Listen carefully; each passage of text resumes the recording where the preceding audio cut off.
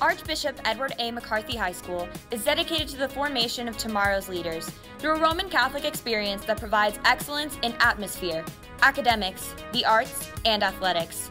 Our vision is to be one of the most innovative, influential, and accomplished Roman Catholic schools in the nation. Good morning, Mavericks. Please stand for our prayer and Pledge of Allegiance. Today is December 12th, and we celebrate Tuesday of the second week of Advent and the feast of Our Lady of Guadalupe. In the name of the Father, the Son, and the Holy Spirit. O gracious and loving Mary, Lady of Guadalupe, through your presence make us aware of our Lord Jesus Christ, your Son.